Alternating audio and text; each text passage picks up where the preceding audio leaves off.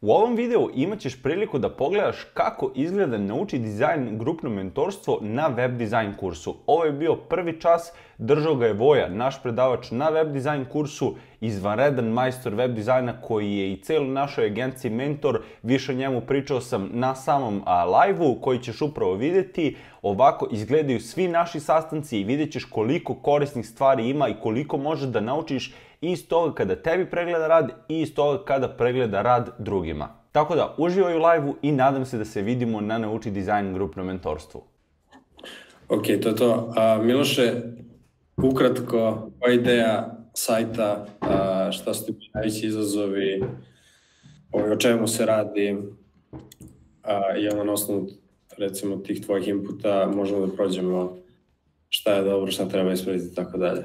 Radio sam moj sajt, uh, to je redizajn za druga jednog, koji se bavi videografijom i uh, pa iskreno malo sam i žurio kad sam pravio ovaj sajt, nisam mogao baš ono da razmislim najbolje, tako da je malo ono, da kažem, nekako basic, ali i da, i svidio mi se dosta taj minimalizam od Horizona, tako da sam nekako pokušao i ne znam, ja sam svidio mi se taj stil, da sam nešto slično da kažem da napravim, ne znam.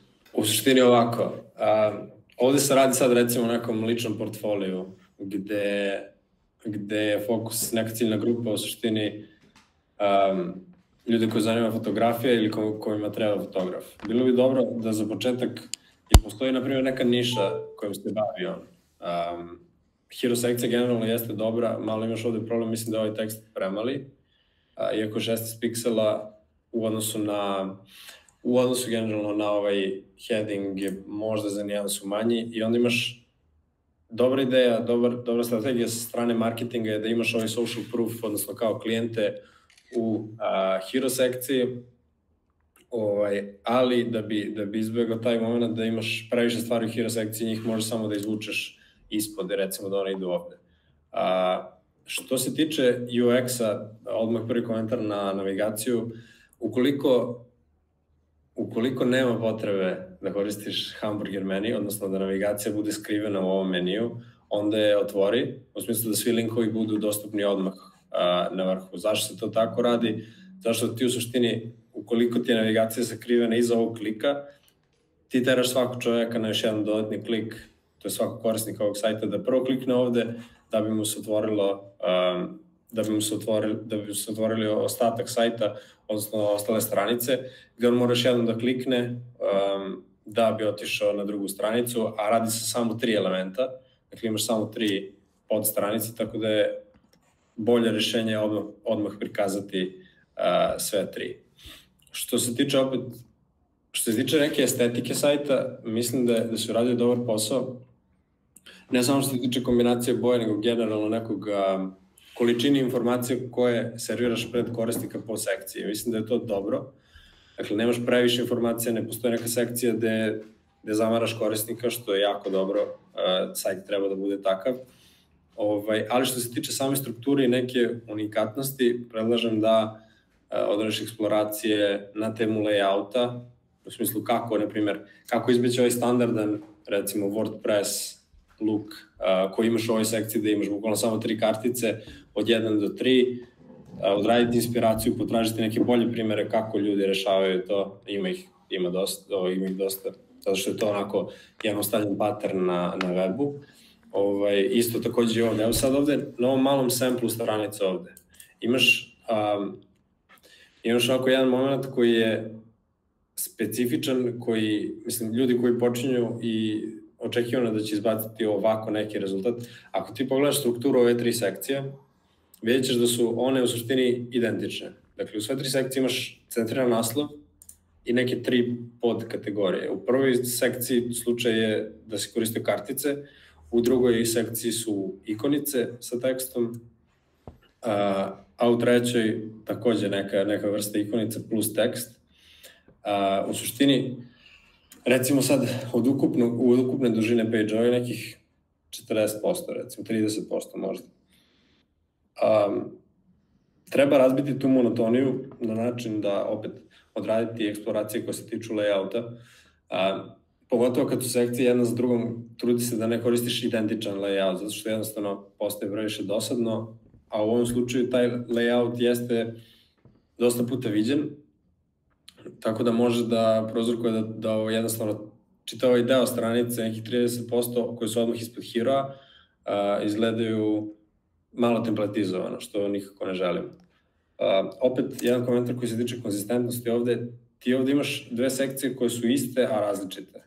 U suštini, dakle, ovde koristiš ikonicu sa nekim loaderom plus tekst, ovaj, a dole koristiš i ovde imaš numeraciju 1, 2, 3, mislim, ok, radi se o tri koraka, ovaj, a ovde imaš opet isti layout za neku totalno drugačiju ideju.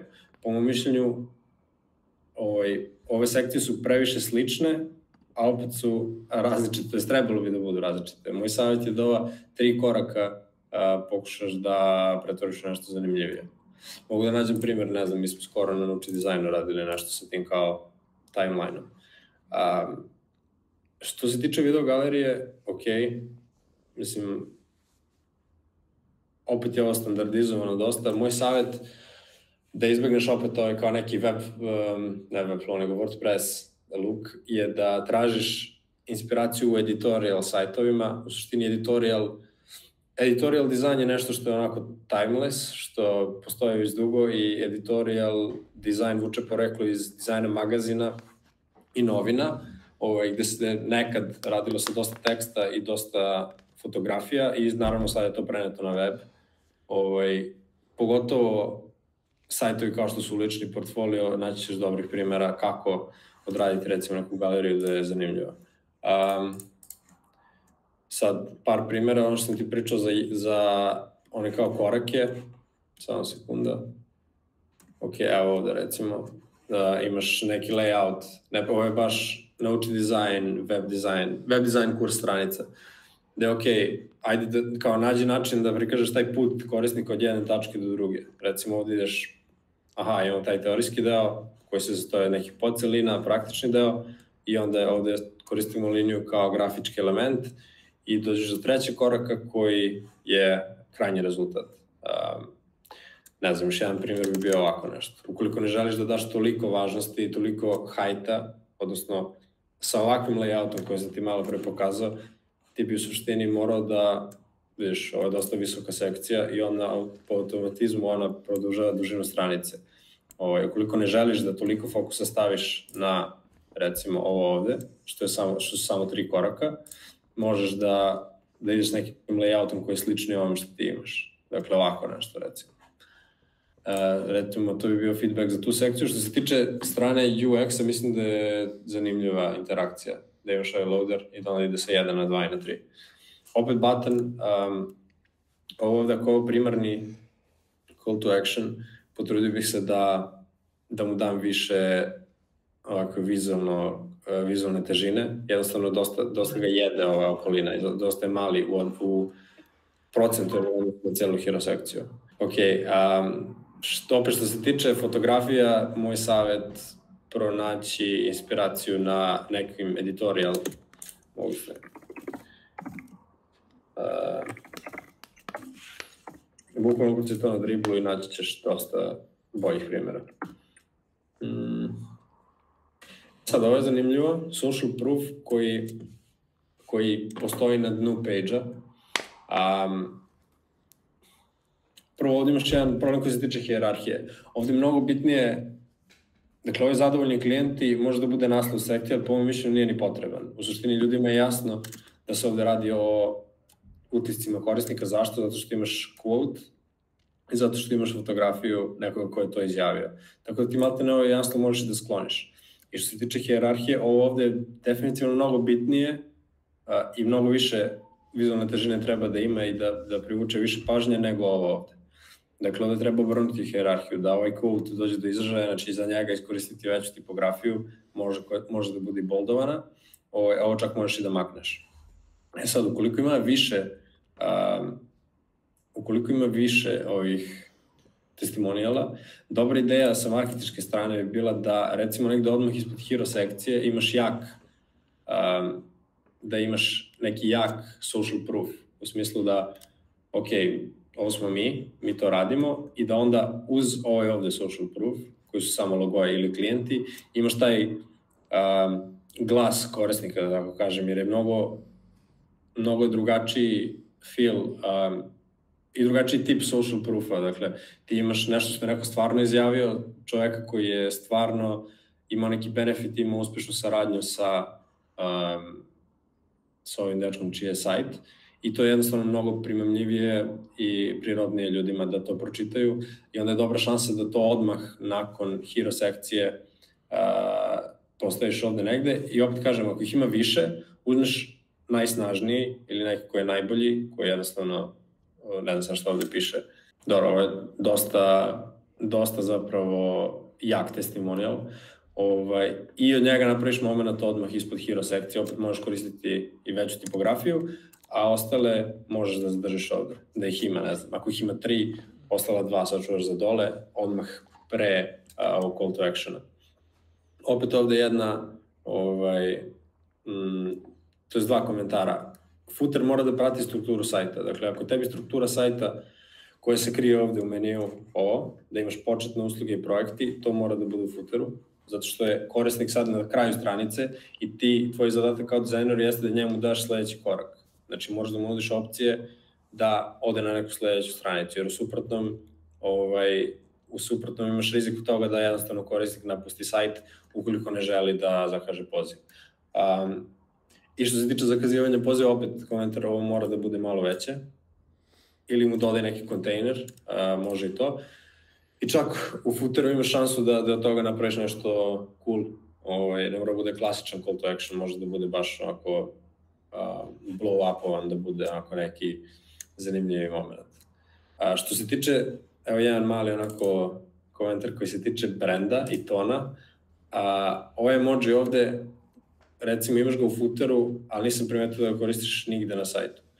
Ukoliko želiš da već da tvoj sajt ima taj friendly feel, da, dakle, da ima taj lični um, da ostaje taj lični dojam ljudima i koji je malo da kažem, intimni, nije, nije onako korporativan, što ima smisla što se radi o ličnom portfoliju. I ukoliko, već, ukoliko, ukoliko su emoji način da ti to iskomuniciraš, što se dosta tiče brenda, onda ih treba provući još više ovaj, kroz sajt, zato što ovako izgledaju malo random.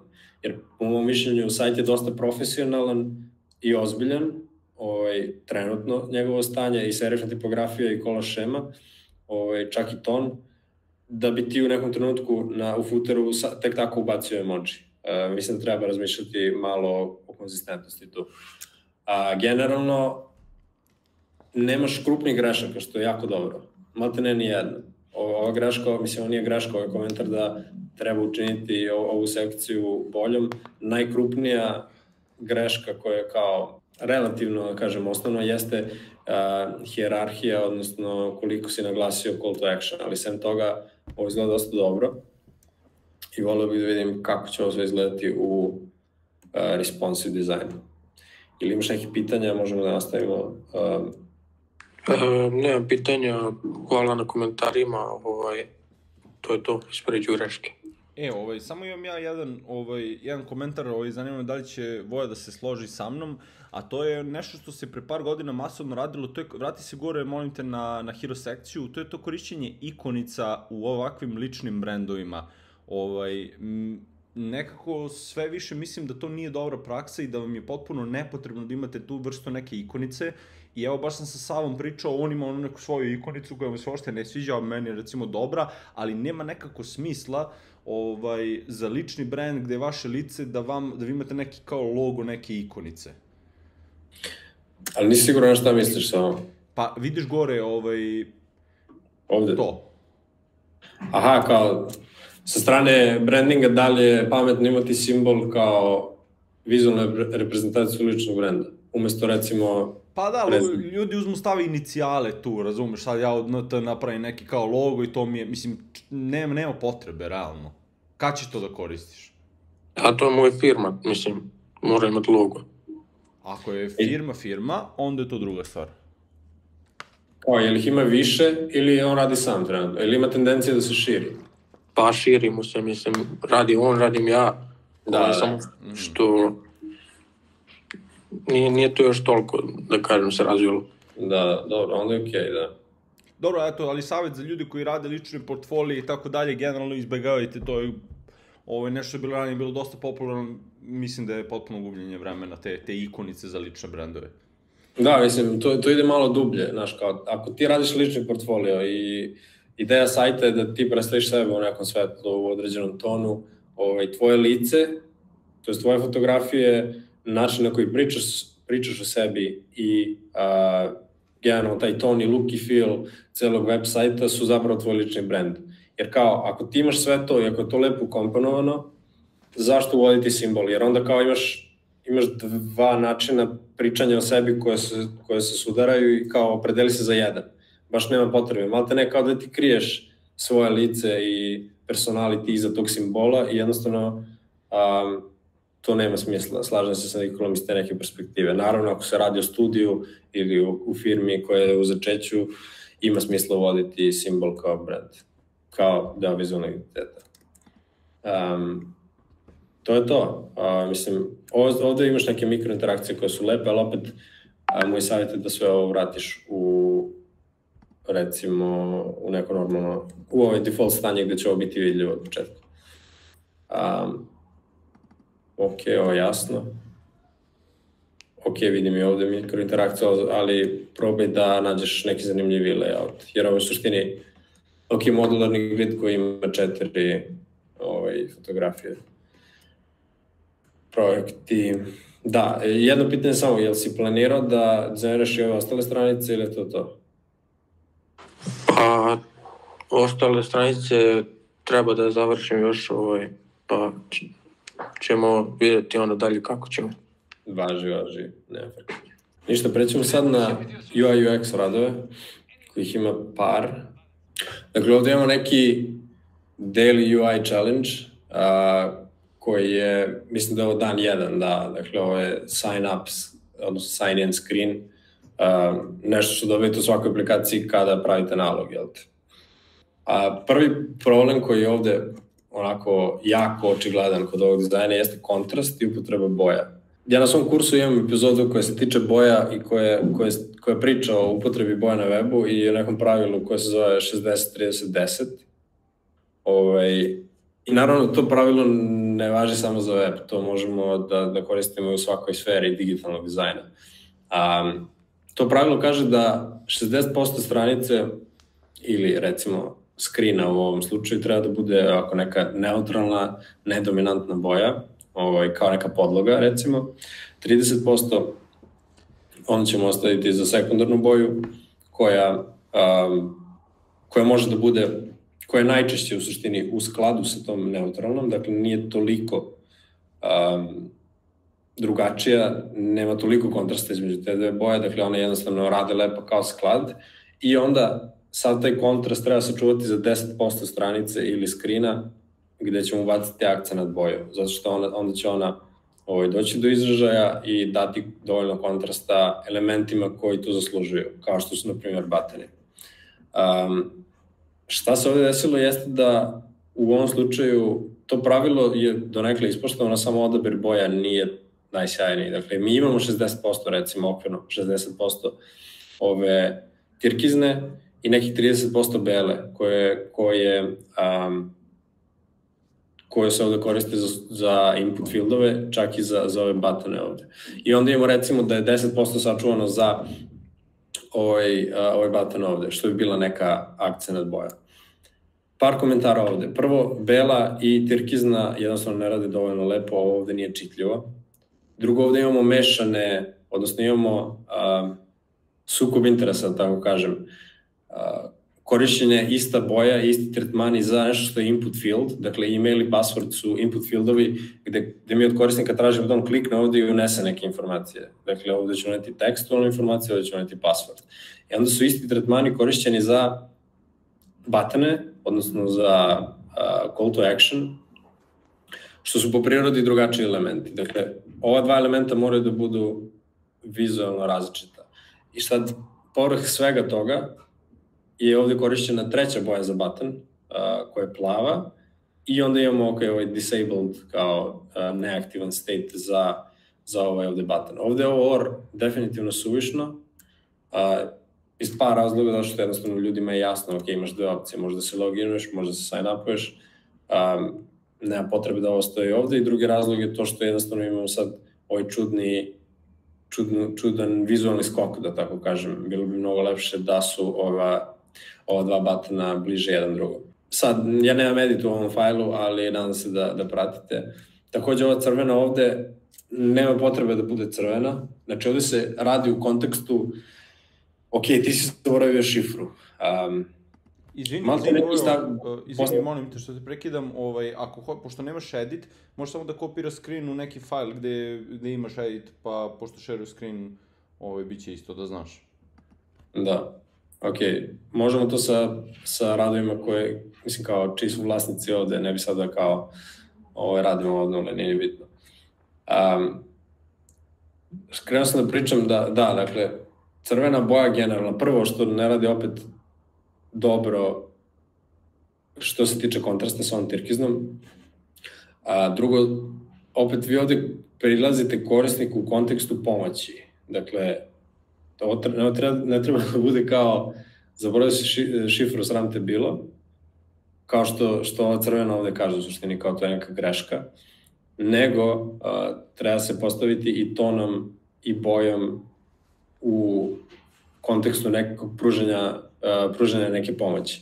Dakle, izbići crveno ovde, ok, zaboravio si šifru, bez brige, postoji rešenje za to.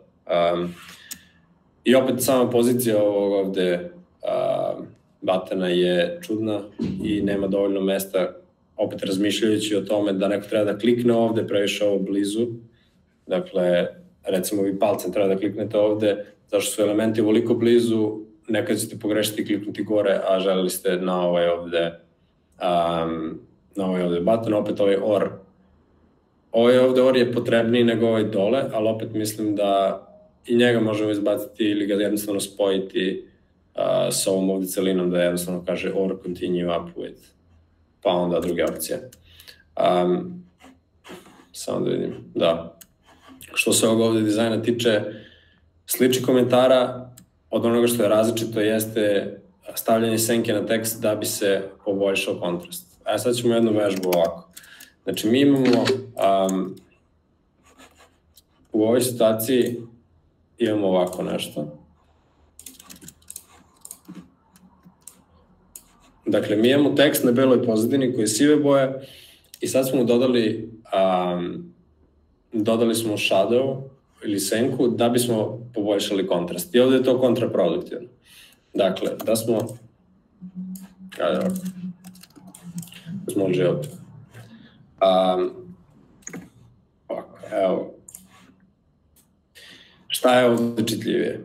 Dakle, u pokušaju da poboljšamo kontrast i čitljivost nekog teksta, mi smo dodali senku i dobili smo kontraefekat. Zašto se to desilo?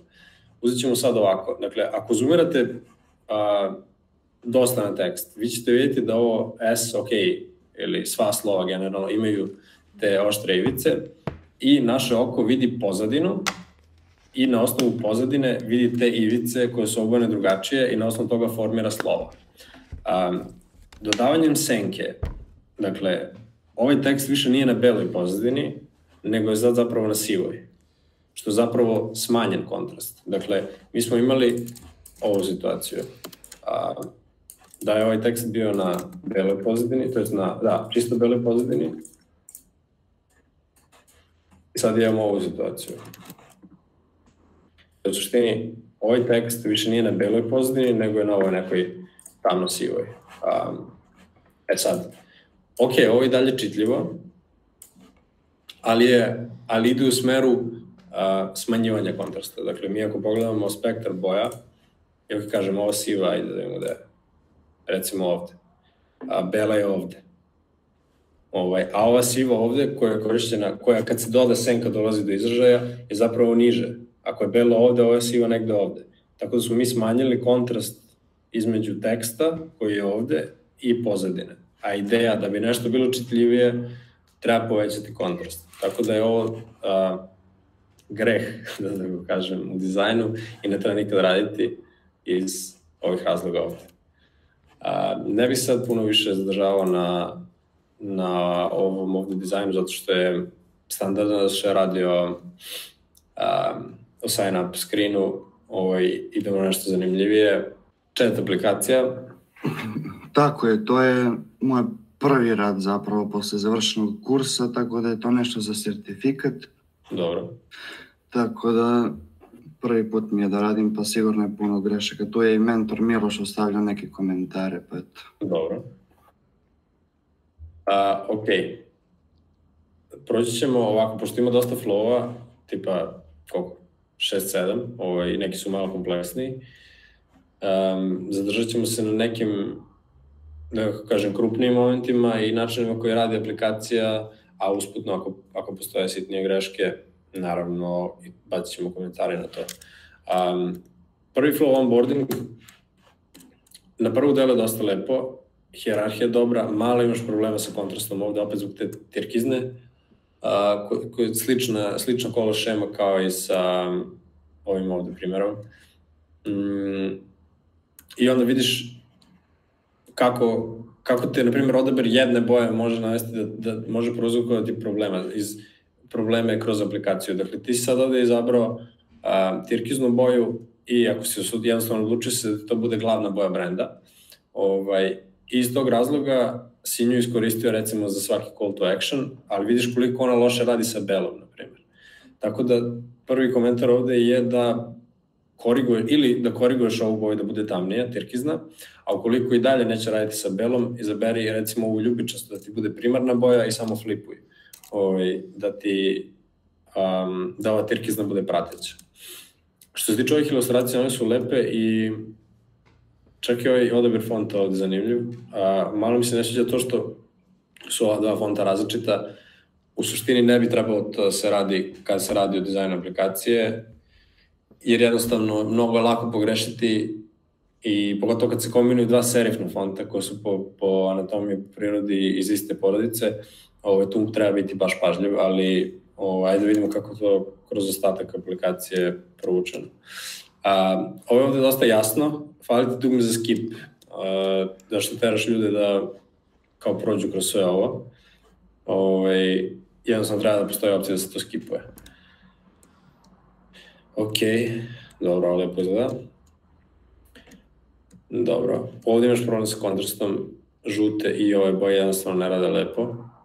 A, može, možeš poboljšati to. Opet, odradi malo nekih par eksploracija za boje. Kad budeš radio eksploracije za boje, nemoj sad da uzmeš i da menjaš svaki screen ovde, nego uzmeš recimo tri screena koje su ti relevantne, tipa ovaj screen ovde gde imaš, lo, kažem, imaš upotrebu tirkizne i žute koji jednostavno loše rade zajedno, ok, to ti je kao jedan sample i ne znam, nađeš još par screenova, recimo ovde, ovaj, gde ta bela opet sa tirkiznom ima slab kontrast, zanimljivo je, kao, kao neki test ground za boje, ovaj, i ne znam treći koji bi bio, recimo sound chat. I onda probaš na tri skrina, probaš različite kombinacije boja dok ne nađeš nešto ovaj, što radi. Um, ok, čini mi se da se sad ovde, kroz ostatak aplikacije Maltene, dosta koristi ovaj drugi font uh, Gopher, uh, a da si Euclid Circular B koristio samo za call to action. Jeste. Ovaj, ako je to situacija, Dakle, ti si ovde uveo samo jedan font da bi ga samo koristio za call to action. Ovaj, nema potrebe da to radiš. Jednostavno, slobodno, slobodno ujednači sve. Ovaj, ovaj font koji, koji se zabrao ovde ima zapravo mnogo više personalitija nego ovaj ovde. Jer ako za chat aplikaciju koja je sama po sebi, da kažem, standardizovana aplikacija, opet mi to na kursu dajemo zato što je onako dobar početak, Ovaj, mislim da je odabir ovako nekog fonta koji je drugačiji zapravo doprinosi mnogo da se ta chat aplikacija razlikuje od onog što zapravo postoje na tržištu. Um, što se tiče samih hjerarhije ovde, većinom deluje dobro, možeš ove logoje malo da smanjiš. Ovaj tekst ovde me samo brine koji je na 12, popni ga na 14, čisto zbog čitljivosti. Ovaj, a, I u suštini je to to. A, ovako deluje dobro. Ok, ovo je flow za, za input, to je standardizovano. Znači, glavni komentar na ovim screenovima je da popneš ovaj tekst na 14, recimo. Ovo, I da, razmišljaj o tome, jedan mali komentar, kako izgleda kad je, kako se aktivni state razlikuje od default state-a. U suštini, sve što si ti ovde uradio jeste da si pustio ovaj kao um, type indikator da radi, ali u, u praksi bi to trebalo, bi razlika između aktivnog state-a i default state-a morala da bude jasnija. Dakle, ako si ti već kliknuo ovde, ovo mora da dobije neku boju, recimo, da ovaj outline bude tamniji, ovaj, ili da dobije boju uh, i on ćeš time uspostaviti bolju, bolju razliku između default i aktivnog state. Uh, takođe treći state u kome treba razmišljati, ti na passwordu opet imaš sličnu situaciju. Dakle, imaš default state, ovde ti recimo fali, odnosno probaj da vidiš kako izgleda active state i onda ovo field state. Dakle, state u kome stanje ovog input fielda u kome je uh, password već popunjen. Tako da i on treba, to je recimo treća podvarijanta ovaj, na koju treba misliti. I sad zašto ovo pričam? Zato što su ovo neke osnove dizajn sistema. Dakle, ti kad budeš pravio sutradan, kad budeš radio na pravim projektima, imaćeš komponentu koja se zove input field, imaćeš varijante te komponente, default state, active state, um, ovaj, disabled state, kao što je na primjer disabled button, isto tako input field može da bude disabledovan, ovaj, i field state. Dakle, treba razmišljati već sad o tome. A, ali generalno hjerarhija dobra, malo imaš problema sa kontrastom između bele i ove terkizne, to je onako najveći komentar, ali generalno je dosta dobro. Ok, opet, um, evo, na primjer, bolja, um, bolja upotreba boje za forgot password, zato što nemate crvene, ok, a, mnogo prijatnije to deluje, ali je igrom slučaja ovde drugačiji, mislim, kontrast slab. Um, dobro. Probaj da budeš konzistentan sa batonima. Slobodno spusti ovaj baton dole, da ti on bude ovde negde. Ovaj, imaćeš ovde onda, da kako da kažem, prazninu. White space, ali je mnogo više user friendly jer je mnogo pristupačnije kada je niže ovaj, recimo kao što je ovde. I opet je ovo možda relativno visoko, ali zbog ovog kontenta prirodnije da ovaj kontent ide ispod primarnog call to actiona, tako da je ovde ok, ali ovde nema razloga da ovo bude ovoliko visoko. Uh, isto je ovaj submit, možeš ovde. Um, dobro. Dobro. Sviđa mi se font, mislim, što duže gledam, ovaj, zapravo mi se sviđa više, ovaj, zašto daje, jednostavno daje lični pečat ovoj aplikaciji, nije standardan. Ovo nek, ovaj next button, ovaj, nisam siguran kako ovo radi, jel ti u suštini kako ovo radi na iOS-u je da ti kad, kad imaš uh, ovaj ovde, kad ti on kao poveže SMS sa aplikacijom, ti samo klikneš ovde i on te automatski prebacuje na sledeći korak. Ovaj, ako je to slučaj, ovo rešenje ok. Ako je slučaj da korisnik nakon novog inputa ovde i dalje mora da klikne na next, da bi išao dalje, onda treba izjednačiti taj next button sa ovim ostalim. Dakle, napraviti ga primarnim, da bude ovde negde, odmah iznad tastature, ovaj, jer je mnogo uočljiviji. Um, ok. A reci mi, je li to Gofer font? Šta, da. Zato što ova aplikacija je jako slična onome što smo mi radili na UI UX kursu i po strukturi i mislim sam ja baš taj font koristio, ovaj, ali paleta boja drugačija. Da. Moguće, ovaj... Mislim, ima, mene, mene podsjeća me na Duolingo, ne znam, to mi je neki vibe, ovaj font. Ovde imaš problem sa kontrastom između bela i ovaj, i pozadine. Um, dobro. Dobro, zanimljivo. Mislim, ok, nema se tu nešto puno ovaj, prostora za komentarisanje. Da, ovde opet imaš taj komentar. Znači, mora da bude, opet pravi tri state-a. Prvi state, first name, last name, default. A drugi state, kad klikneš i kad kreneš da kucaš active state, i treći state je ovaj popunjen, ovaj, um, ovaj, možeš da, jednostavno moraju da se razlikuju. Opet, ovo što se tiče batana, odjednom iz aplikacije gde se svi batani pokazuju na skrinu, tipa ovaj je ovde i ovaj je ovde, imaš situaciju da ga pokazuješ um, u, kao deo tastature. Probaj da budeš konzistentan sa načinom na koji prikazuješ butone. E da, ovde sad ne znam koja je ideja. A, prvi komentar je da ovde definitivno crna i um, da crna i ljubičasta ne rade dobro zajedno, da ovo nije čitljivo. Ovaj, I sa ovom pozadinom, mislim, ok, jasno mi je koja ideja da ti možeš da prikažeš ovde da možeš da customizuješ pozadinu četa, ovaj, ali probaj, mislim, za početak, ne znam sad da li imaš to negde, ovaj, odradi jedan odradi jedan screen gde, gde je zapravo neki default um,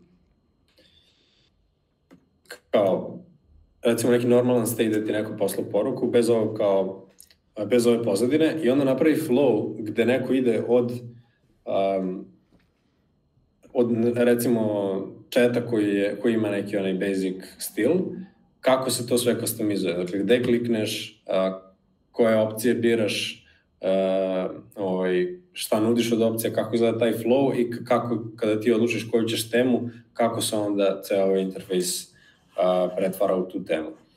Isto tako, par sitnih komentara, ok, ovo mi je jasno, ovaj, u suštini mm, samo X malo buni, zato što nekako bojom je spojen dosta uz ovu drugu opciju, treba ga razdvojiti.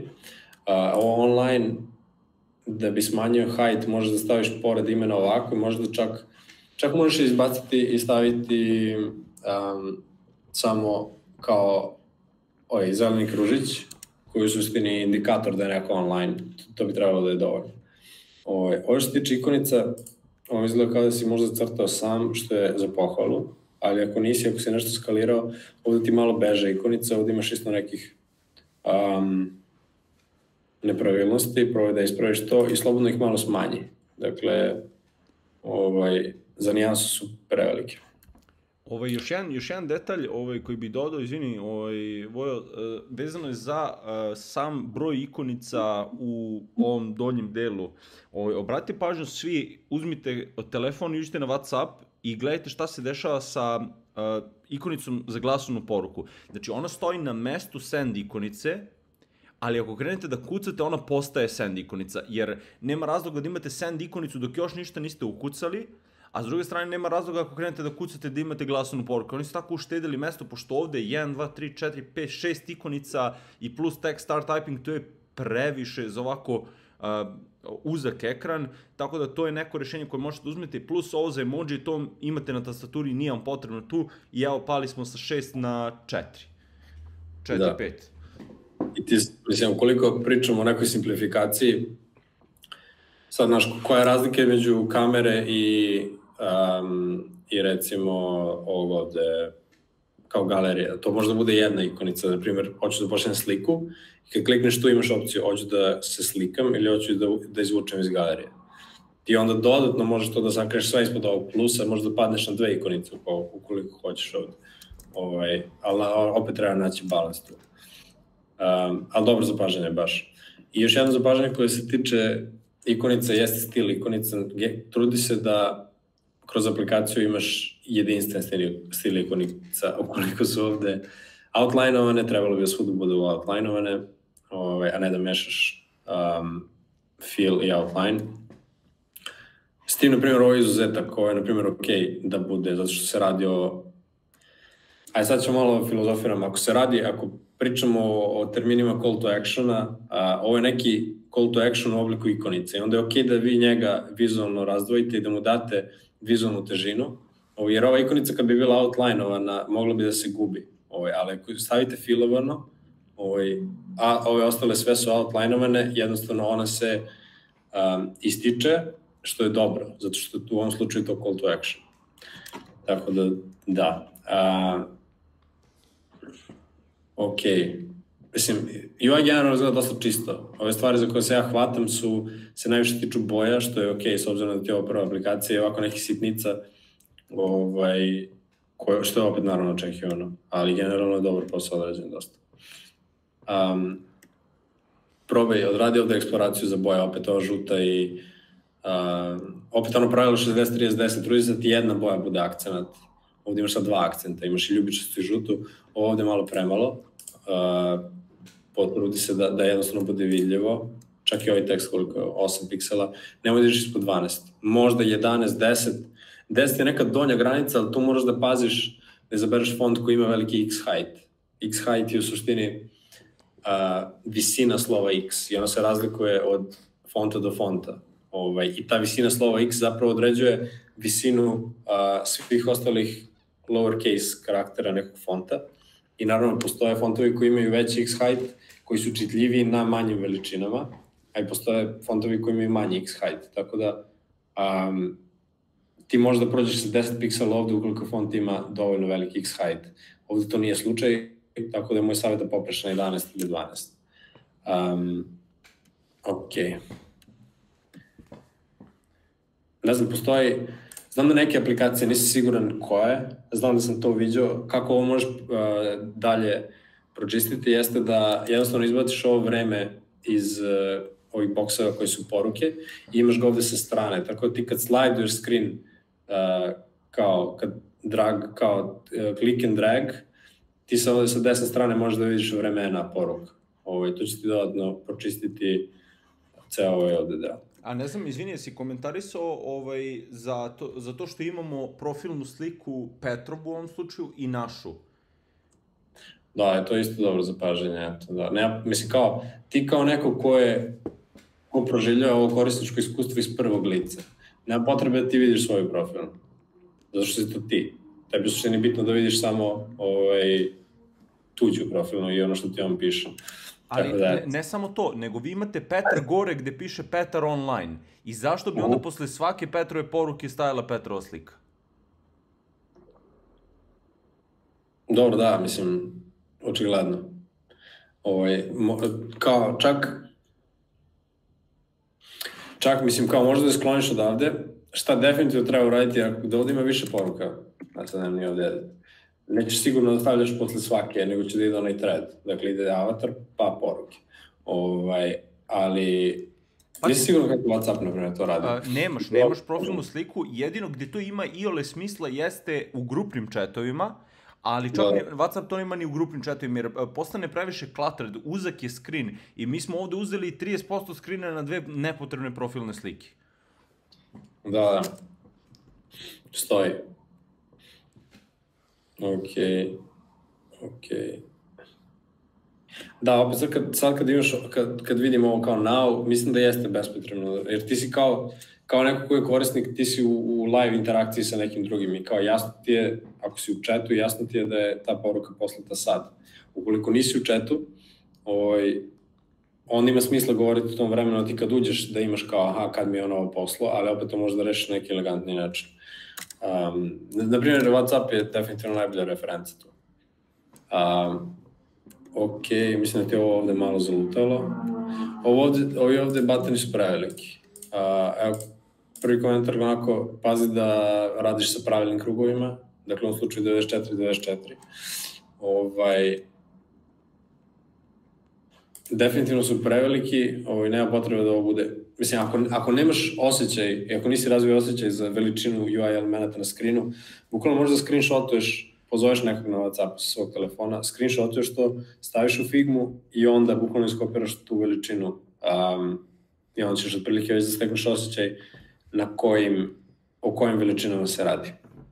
I što se tiče ovog samog vizualnog tretmana, uh, zanimljiv je, mislim da ima potencijala, ali ga treba malo ispolirati mislim da se ovde dosta kompituju um, ova profilna i ova pozadina koja je zapravo ista profilna, samo, samo zamućena. Um, mm, dobro.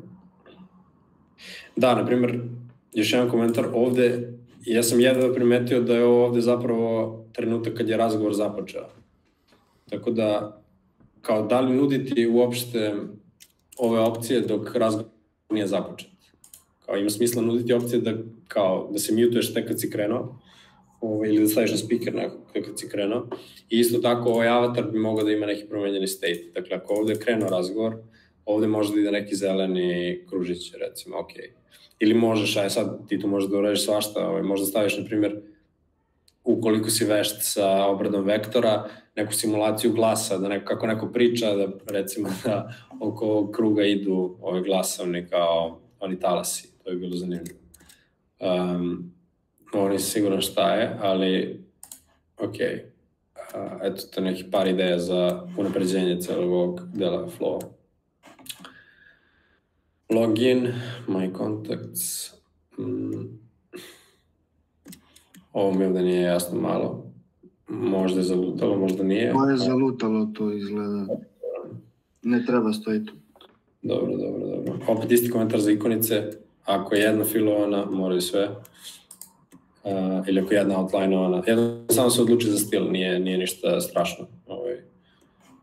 Um, ako se ovde radi o, o selektovanju više kao neki multiple choice, ovaj, jedna referenca koju mogu odmah ti dam je, na primjer, kako iOS radi kad selektuješ slike.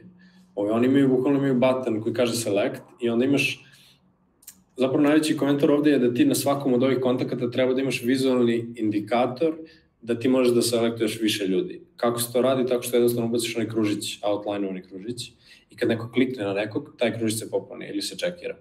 Ovaj, I to je dosta više user-friendly, jer je mnogo jasnije da ti možeš da selektuješ više ljudi ovde.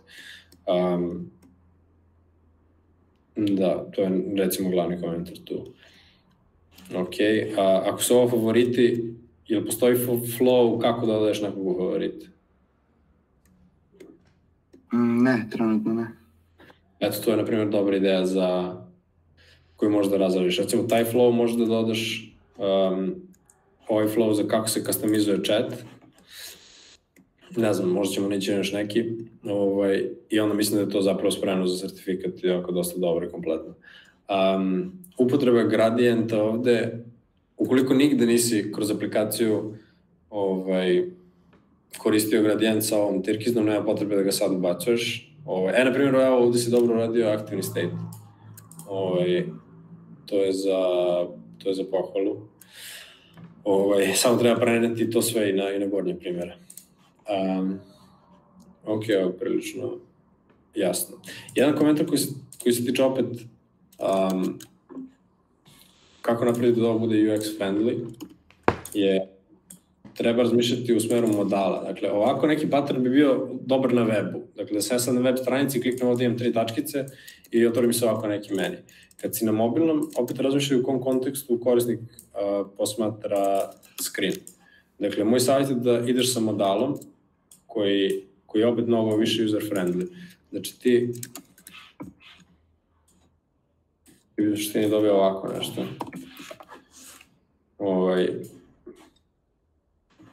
Dakle, klikn, klikneš na tri tačkice ovaj, i onda opet otvaraš neki model koji je ovde, ovde možda stoji x, ne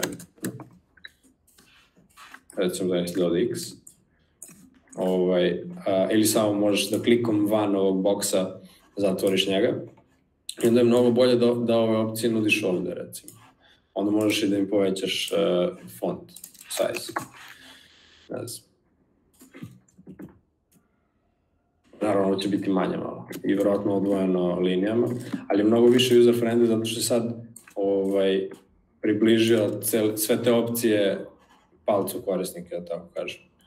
Um, tako da, eto, razmišljaju smjer o tom. I generalno, kogod radi UI, UX, ovaj, pogotovo na mobilnom, izbegajte ove kao modale koji se na tri tačkice otvaraju kao neki pop-up ili drop-down. Gledajte da, da to iskustvo bude optimizovano za mobilni.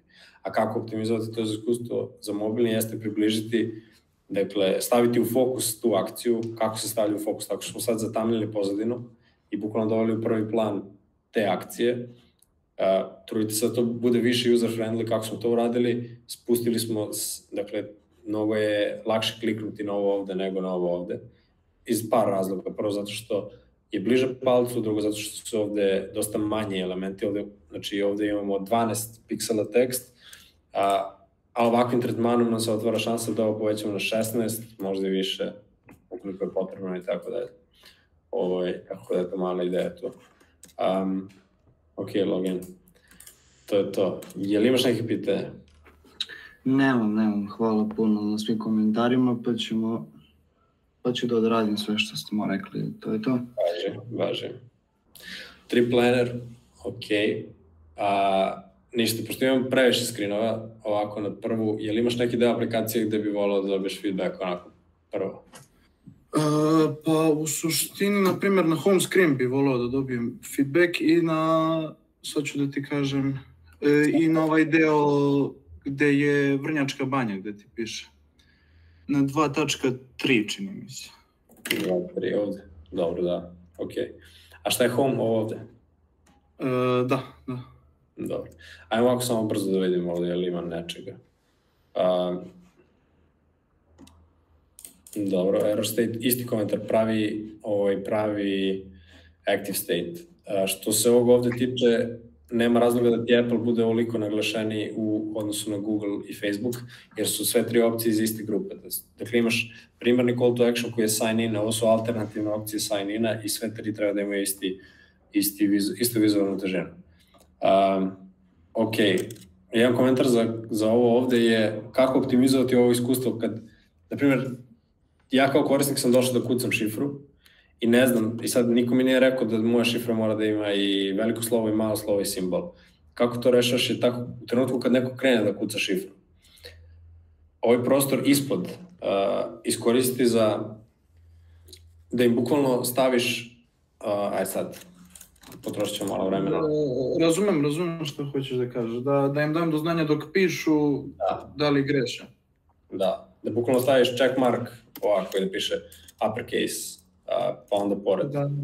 lowercase. I onda kad on kuca, ukuca uppercase, ovo se štiklira i to je to. I onda oni imaju guide kako treba to upunjavati.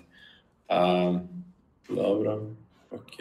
Ovo može niže, približi ga dole um, palcu a onda button i ovo treba rotirati, jer će, ovo, jer će ovaj tekst biti u konfliktu s ovim. Dobro, dobro, dobro.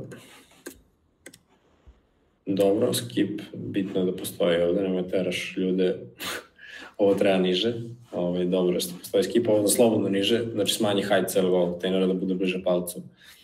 Ovaj, kako, kako izbeći klik ovde, um, umesto što ćeš nuditi da neko klikne na choose from camera roll, ti bukvalno ovde već možeš da pustiš celu galeriju. Da on ima opciju take a photo, da to bude jedan call to action, a da se sve ostale slike već vide. Razumeš, tako su šteno jedan klik. Um, mislim da ti ovaj tekst ovde nepotreban. Kao, trebalo bi da bude jasno ovaj, da, da se tako dodaje slika. Ok. Mm je home. Um,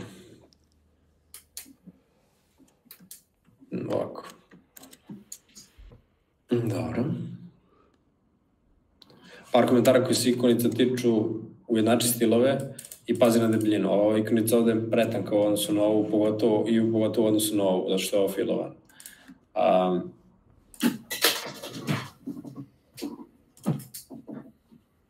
dobro. Ok, fino. Mm, dobro, mislim da samo ovde malo previše naglašeno ovaj, ovaj bojam, smanji ga malo. Ovo je smislu, možda bude outlineovano ili da bude plavo, ne, ne crno. Ok.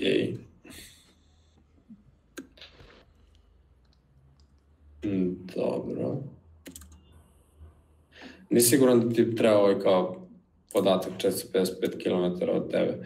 Je li ovo flow kad klikaš na start planning, da je ovo kao flow? E, ne, ne, to ti je search. E, start planning je ispod. Aha, dobro, dobro, ovo je search. Location country. Ovo je dobra ideja baš. Um, da možeš da segmentiraš search po, po ovim ovde kategorijama. Mm, dobro. Sad, uh, je li ovo kao kompletan flow ili se nastavlja ovde? Uh, pa, na primjer, uh, kad klikneš na start planning, u suštini dobijaš opciju, ideja mi je bila da iz jedne aplikacije da možeš da smisliš, znači da imaš opcije za celo putovanje, za ceo izlet, nije važno, letovanje, zimovanje, i da s jednim dugmetom da bukvalno odatle možda izabereš državu, da izabereš mesto, da izabereš hotel, da vidiš u da. blizini hotela kakve, ne znam, aktivnosti imaš, tipa, ne znam, karting, tenis, balon za futbal, i da imaš, na primjer, ocene, da imaš, da ti ostavljaš ocene, da ostavljaš komentare i to. To je da. bila neka ide. Je li ovo dole flow za to? E, dole ti je flow za kartice, na primjer, eto, na primjer, kada bi kliknuo na vrnjačku banju, kako bi ti izgledalo? Dobro, ovako, a, to, to što si ti sad spomenuo zapravo mnogo dobra ideja, kao neki trip planer, baš u tom duhu.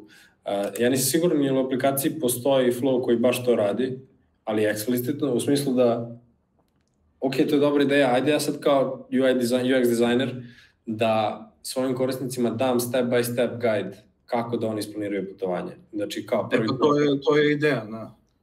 Jel postoji negde, neki flow gde ti imaš eksplicitno prvi korak, drugi korak, treći korak? Aha, misliš kao objašnjenje?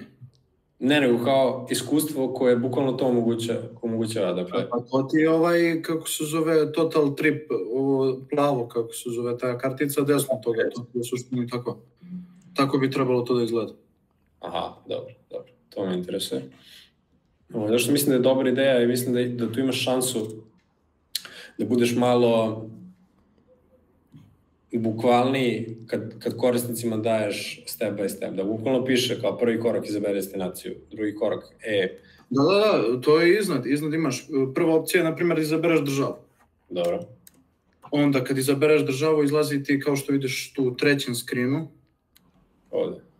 Da, izlazi ti, na primjer, lokacije. Izlazi ti top rated, most visited, ne znam, i onda imaš da izabereš lokaciju. I kad izabereš lokaciju, izlazi ti, flow ti izbacuje na ovaj screen ispod. Dobro, dobro, jasno. To je neka ideja koju sam imao. Dobro, dobro. Ovaj, mislim, sviđa mi se, ovde ima par komentara, mislim da Nikola baš skoro izbacio na Instagramu kako, kako rešiti problem um, odabira dobrih fotografija i, i UI elementa koji idu preko. Dakle, ovo treba zamutiti, recimo koristiti crnu pozadinu i smanjiti opacity da bi se ova ikonica malo bolje videla. Ovaj, e sad, jedan komentar, ovo generalno izgleda dobro na prvu. Mislim kao, već vidim da, da, da se radi dobro na dizajnu, manje više. Ovaj, ali moj savjet za, cel, za celu tu problematiku flowa um, je da zapravo uzmeš neki, ja mislim da šta se ovde desilo da si, što je očekivano, ovaj, za inspiraciju uzimao tri aplikacije koje već postoje. Ali mislim da je tvoja ideja dosta dobra u smislu tog trip planera i mislim da ti možeš da svoje da korisničko iskustvo optimizuješ u skladu sa tim. Dakle, ako tebi, ne znam, ceo taj flow ide, prvo biram zemlju, pa grad, pa hotel, pa aktivnosti, ovaj, kako treba krenuti tu? A, mislim da treba krenuti od datuma. Dakle, prilike ti sad znaš gde ćeš da ideš, znaš kad o, si planirao odmor, ne znaš gde ćeš da ideš. Ovaj, Da. može i obrnuto. Ovaj, i, mislim, ja sam vidio da ti negde dole imaš um, Imaš to, ti je, to što si sad rekao, to je na kraju. To je kad izabereš sve, onda biraš kad ćeš da ideš. Da, treba imati, treba pokriti ovo slučaja. Ali ono što ja hoću da, da te nateram da, da, kako se zove, da malo izađeš iz konvencionalnog, konvencionalnog dizajna a, nekih kao turističkih aplikacija, napraviš nešto što je zapravo dosta unikatno. Ovaj, recimo da ti sad praviš taj flow koji ima par koraka. Moja ideja nekad je da ti imaš taj progres indikator negde na vrhu. Razumeš? Da, Da, ovaj, ajde prvo biram zemlju, znači to je aktivni state, pa je to recimo neki sad, tu imaš biraš zemlju. Ovaj, alternativno, kako to može bude još zanimljivije, jeste da ti koraci budu recimo um, u nekom formatu recimo kartica, prvi korak, drugi, treći, kad si ne znam sad recimo ti si na trećem koraku, ovde, ovaj, kako izgleda korisničko iskustvo tu. Dakle, sad sam na trećem koraku, aha, biram, ne znam, ovaj, šta god se bira na trećem koraku. I onda možda razmišljaš o tome kako izgleda neki state, kad je to završeno, tipa drugi korak izabrao sam zemlju, ovde možda ide neka fotografija, ovaj, i ovde piše kao, ne znam, Srbija, ne bi. Ovaj, u suštini napraviti neko zanimljivije iskustvo samog tog odabira, um, ne samo zanimljivije, nego iskustvo koje je koje se mnogo više oslanja na to da ti kao aplikacija, kao UX dizajner daješ predloge ovaj, um, daješ predloge svojim korisnicima. Ovaj, ovo ovde opet kažem je dosta dobro, ali kao taj moment gde ti baš možeš da napraviš priču od toga.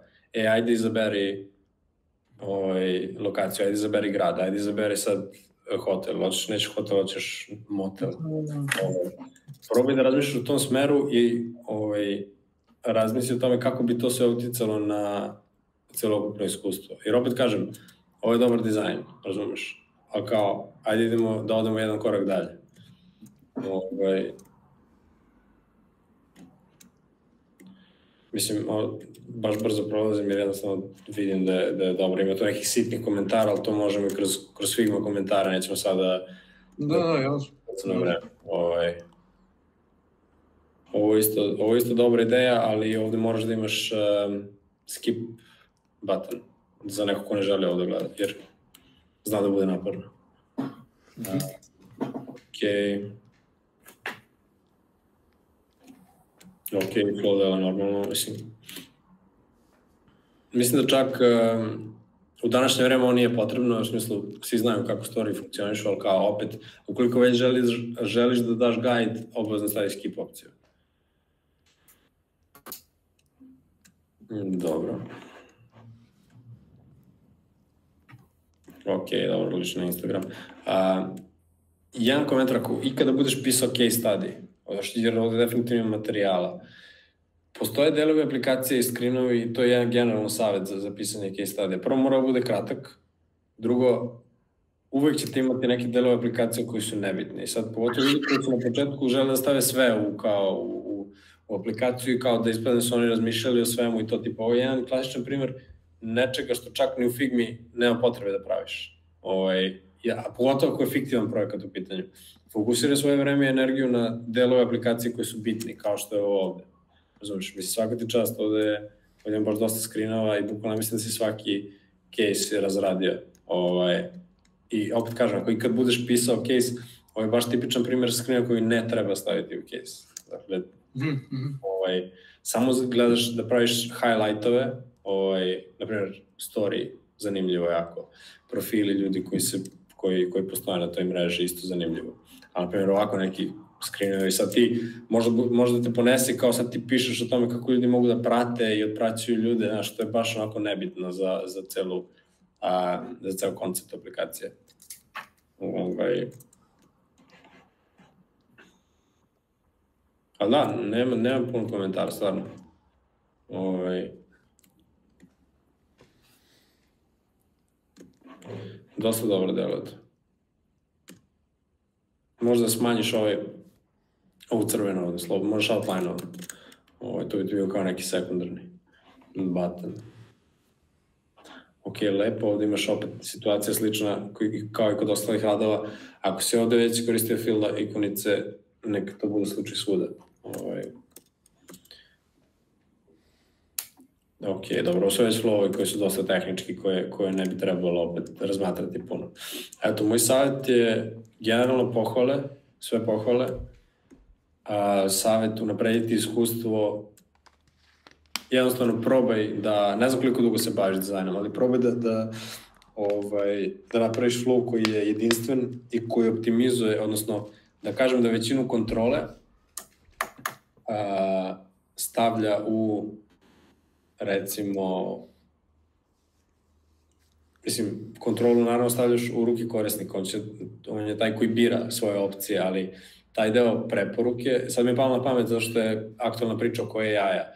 Ti možeš da baziraš ovaj, i celu priču ove aplikacije oko tome da je to neki AI trip planner, gde on na osnovu inputa to, koji su, na primjer, vreme a, i ne znam šta ti voliš da radiš, i kao ili imaš partnera ili koliko osoba već, on na osnovu toga ti daje preporuke.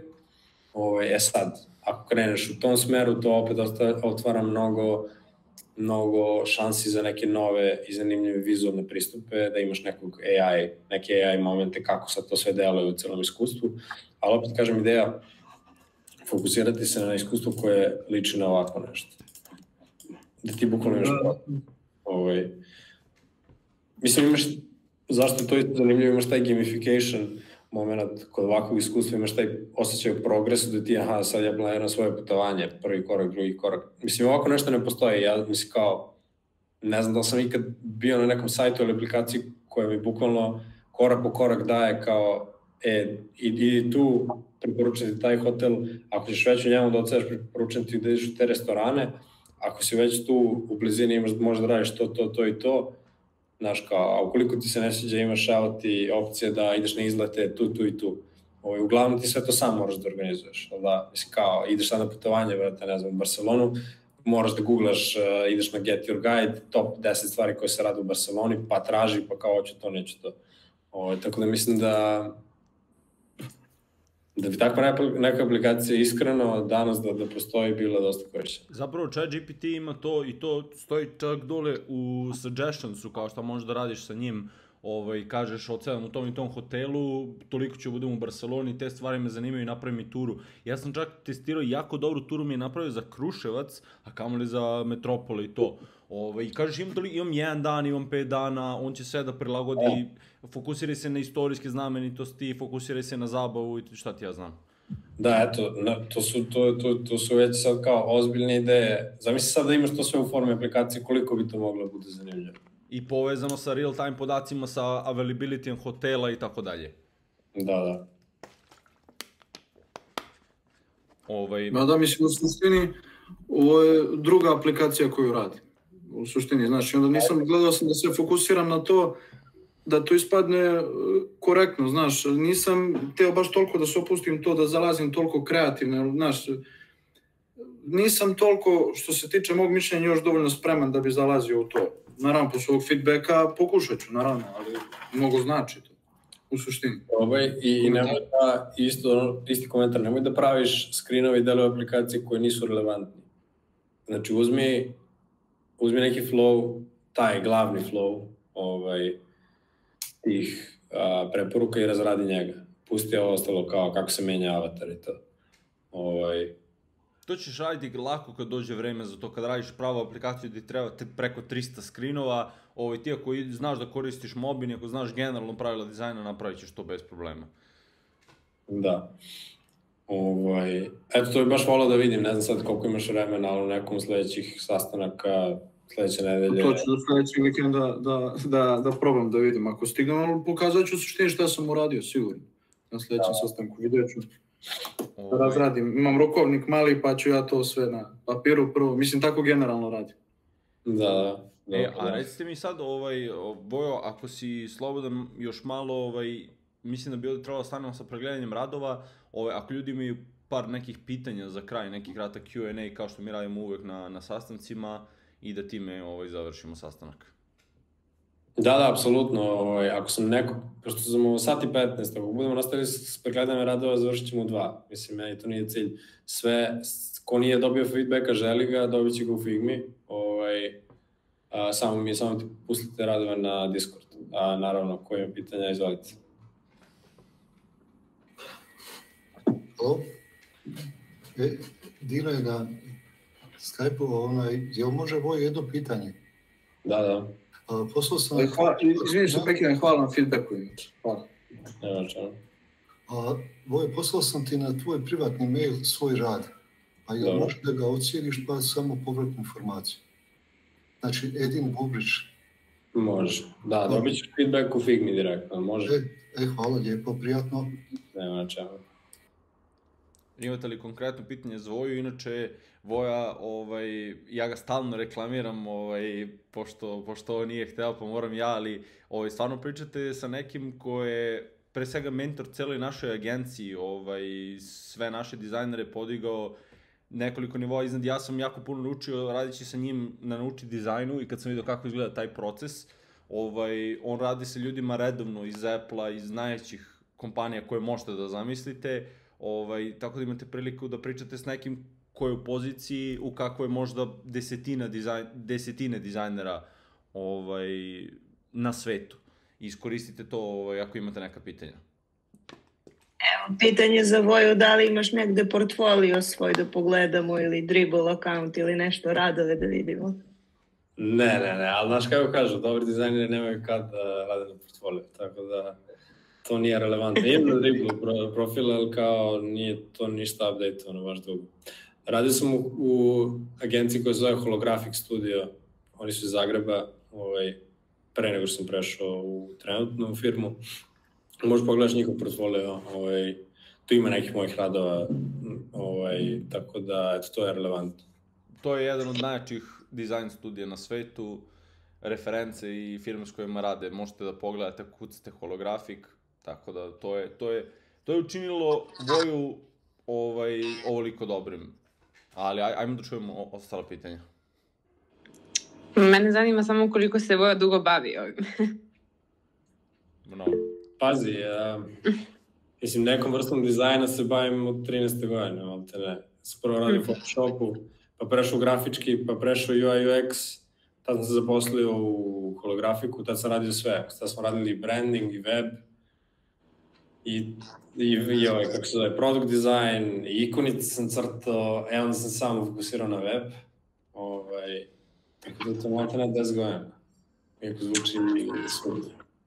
Pa, i, pa inače, ovaj, pošto smo i Voje i ja iz Kruševca i znamo se još ovaj, odavno, davno još iz srednje škole, Uh, neki naši drugari su organizovali žurke u srednjoj školi, kao što svako mesto ima neko ko organizuje žurke i kad vidite da neka žurka ima vrhunski poster, znate da je Voja radi, njega su svi živici imali ovaj, da radi one postere za žurke koje onda idu na, na story i na Instagram. Ovaj, to, to su neki početci. Ja se sećam još pre toga da radio fotomanipulaciju u Photoshopu i ono što sam mu rekao, ovaj, tek letos kad smo bili na Kubi, da je meni jedna od velikih inspiracija da, da uđem da učim ja Photoshop, ovaj, pored toga što sam ja radio neke thumbnailove koji su mi trebali, bilo, bile su te fotomanipulacije koje su bile sjajne, koje je Voja radio sa, ne znam, 15-16 godina koliko smo mogli tada da imamo. Ovaj, tako da u dizajnu je baš dugo. I ja, ja sam malo kraći od toga, znači to nije, ovo nije slučajno što se danas dešava.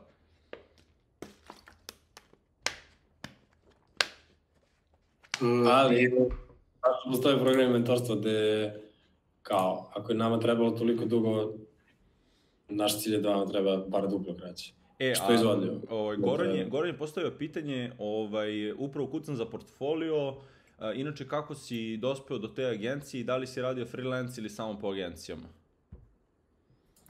A, priča ukratko, a, desila se korona, ja sam imao više vremena koji svi Tad je bila aktualna priča da je Beograd najzagađeniji grad na svetu.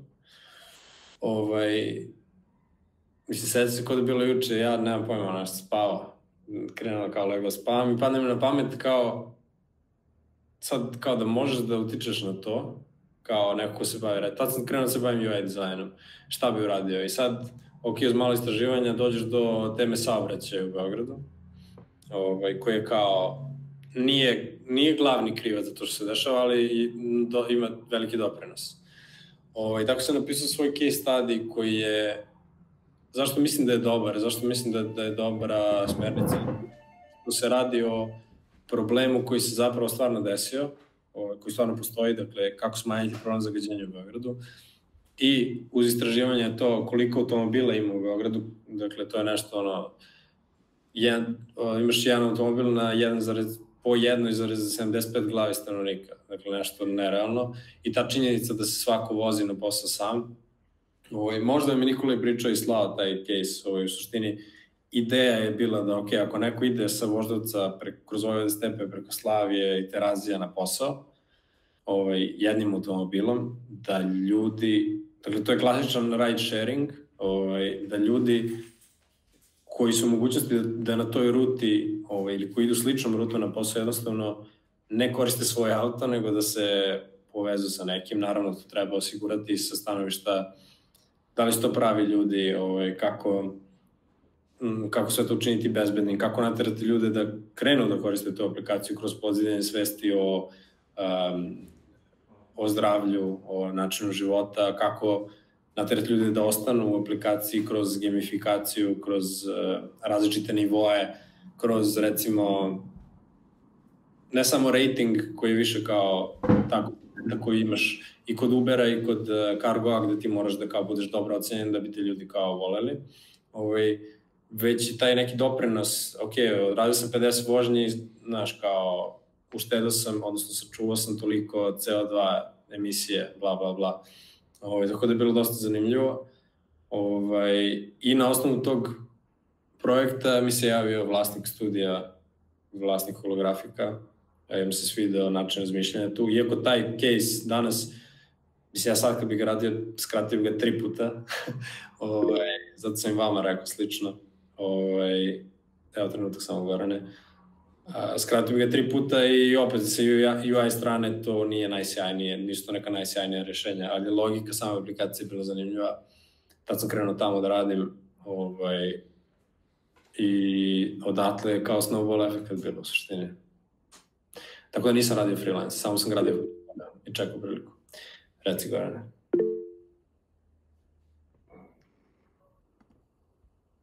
Aha, napisao komentar da će ovaj na mentorstvu da, da kaže ostala pitanja. Ok, imamo li još pitanja? Inače, ja taj case study dajem učenicima da ga izučavaju kao primjer sjajnog case studija baš zbog tog snowball efekta ili, kako se kaže, butterfly efekta koji je ovaj, iz, izazvao, ovaj, a pritom je case study izuzetan. Jeste malo duži, ali je ovaj, logika sjajna. Mislim, ja sam bukvalno pisao Šapiću na Twitteru, ovaj, pošto znam da koristi to, ovaj, da bi, da bi probao da vidi, jer on se, ovaj, on je kao hteo da reši taj problem saobraćaja, ja sam bio fazon ljudi, imamo idealno rešenje, jer ako ja idem na posao na terazije i ko bi što zgradi preko puta ide na posao na terazije, zašto bismo išli sa dva auta, kao idemo u isto vreme, vraćamo se u isto vreme i pravimo i gužvu i zagađujemo ovaj, i trošimo pare, ovaj, trošimo para više nego što bi bilo potrebno.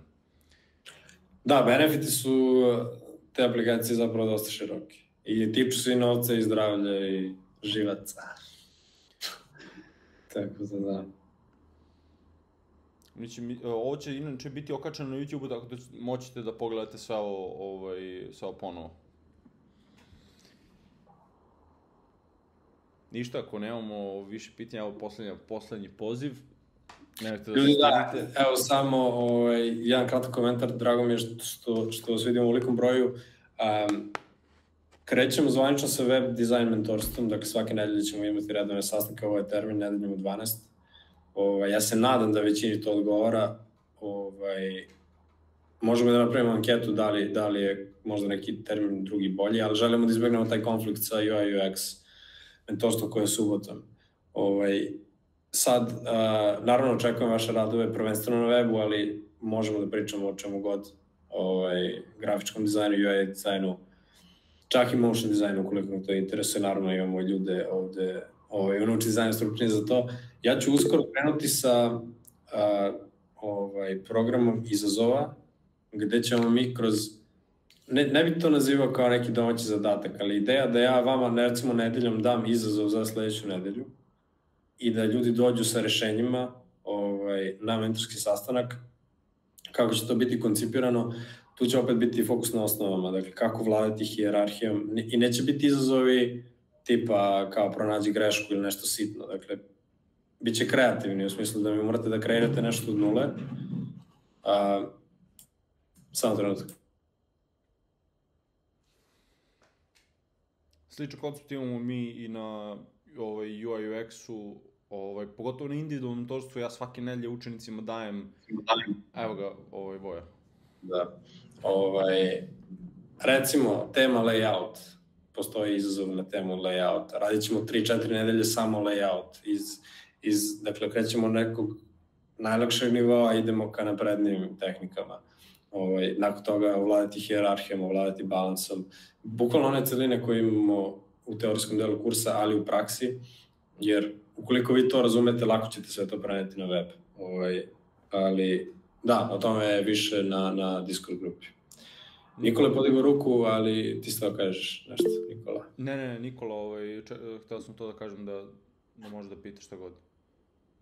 A, ove, imam pitanje, pošto razmišljam da uzmem grupno mentorstvo, a, da li ću kao učenik sa webfov kursa moći da dobijam kritike na osnovu dizajna koji pravi? Apsolutno, da generalno koncipirano je da se da odvajamo mentorstvo, ali znaš kako, ovaj na sam dizajn, ok, ovaj, Voja to, ovaj, u tom smislu možda ti izađe uh, u susret. Ako si na Webflow mentorstvu, koncept je da dobiješ feedback uglavnom na development u Webflow, ali naravno tu smo da prokomentarišemo i dizajn, pogotovo što možeš da staviš one kanale gde smo svi pa će neko od naših mentora da ti izađe u susret, jer uh, generalno je Webflow kurs fokusiran na taj dev deo, ali ja svako hoću da vi, da vi budete u stanju da proizvedete i dobar dizajn, jer uh, mana Webflow kurseva je što ljudi nauče Webflow, nauče development i pojma nemaju da dizajniraju, onda uh, lepo izdevelopuju ne, neko đubre. To nije, to nije ovaj cilj, pogotovo što smo mi naučili dizajn.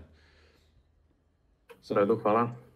Da, mislim, definitivno kao, ti ćeš sigurno dobijati feedback na dizajn, da će to biti od mene ili od Nikole, zavisi od, od okolnosti, ali ako želiš, nebitno, piši na Discordu, ja mogu ti uvek stavim i Figma komentare, ali znam da Nikola to pokrio na svom, svom kursu i delu koji se tiče Webflow, tako da bez brige.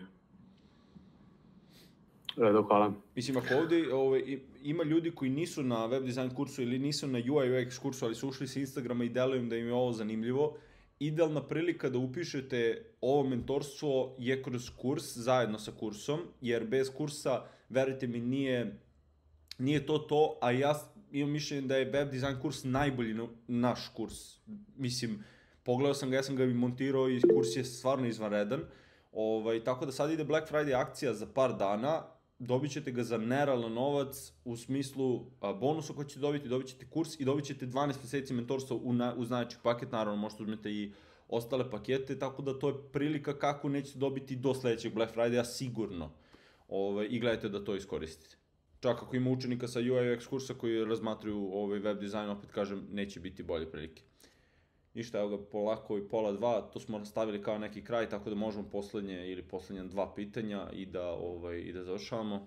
Malo smo do duši kasno napravili u najavu dok smo bili sigurni oko termina da nema pomerenja, šta ti ja znam, verujem da bi skupio još više ljudi, ali organizovat ćemo, ovaj Bože zdravlja, uskoro opet ovako nešto. Ok, onda ćemo ovde da završimo. Ovaj, hvala svima koji su došli, što sa mog kursa, što sa naravno vojnog kursa, što sa a, Instagrama. Imali smo super live, u jednom trenutku nas je bilo preko 50, ovde 55 ljudi čini mi se. Ovaj, svakako smo, sa lepim brojem smo i, i završili i mislim da ste puno naučili. Ovaj, ono što bih vas zamolio jeste da ostavite svoje utiske, ali ne ovde, jer ovde se brišu odmah, nego da napišete utiske o ovom času na Instagramu, da bi mi ostale ove poruke ili na Discordu, kako god vam je lakše, čisto eto da znamo da smo ovaj odradili pravo stvari da ovaj kako vam se svidelo o, ovo što je Voja odradio. Evo da se ja zahvalim svima, naravno pišite utiske i vidimo se, svi koji su na web design kursu, vidimo sledeće nedelje.